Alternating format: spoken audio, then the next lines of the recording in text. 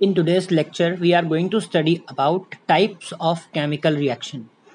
The re- chemical reactions, how they happen and what the products are formed and uh, what types are there. So let's start. Today we are going to start the topic types of reactions. So earlier we have studied about the physical and chemical changes. Now the chemical changes occur because of some chemical reactions in class 9th when we studied about uh, laws of uh, chemical uh, chemical reactions then we came to know about one law that was law of conservation of mass. That tells that uh, before and after any chemical reaction the mass never changes. Mass is neither destroyed nor be created. Mass means the atoms. That means the atoms can neither be created cannot be destroyed uh, before or after a chemical reaction so that means they remain same. And one type of element will not convert into the atoms of another element. That means for example like uh, when carbon burns in oxygen and forms carbon dioxide then the atoms of carbon are not or oxygen are not changed into carbon dioxide.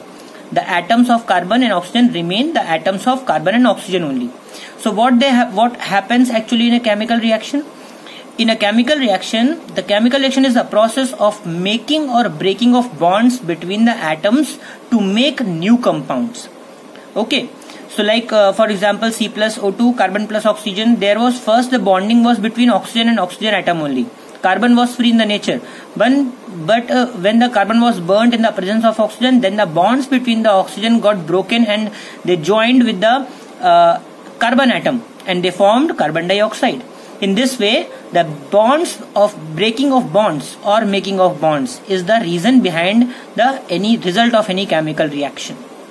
Now, in this chapter, we are going to study the following uh, chemical reactions. The types are combination reaction, decomposition reaction, displacement reaction, double displacement reaction, and at last, oxidation and reduction reaction.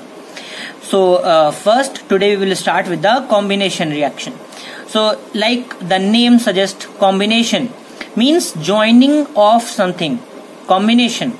So, in a chemical uh, terms, if we see the combination reaction when two or more reactants react to produce a single product.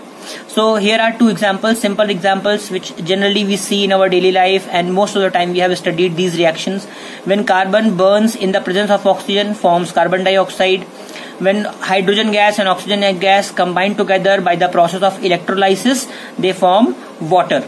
So these are some basic uh, reactions between of the combination reaction